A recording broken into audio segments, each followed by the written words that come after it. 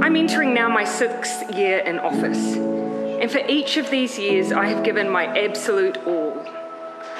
I believe that leading a country is the most privileged job anyone could ever have, but also one of the more challenging. You cannot and should not do it unless you have a full tank, plus a bit in reserve for those unexpected challenges. And so today I'm announcing that I will not be seeking re election.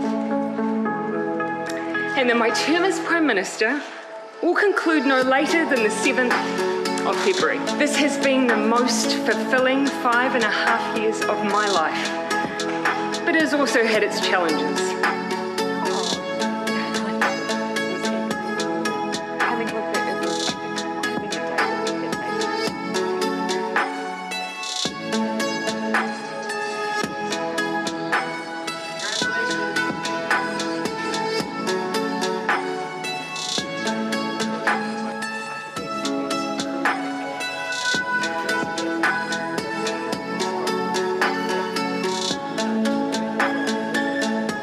But I'm not leaving because it was hard.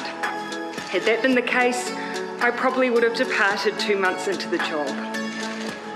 I am leaving because with such a privileged role comes responsibility. The responsibility to know when you are the right person to lead and also when you are not. I know what this job takes, and I know that I no longer have enough in the tank to do it justice. It's that simple.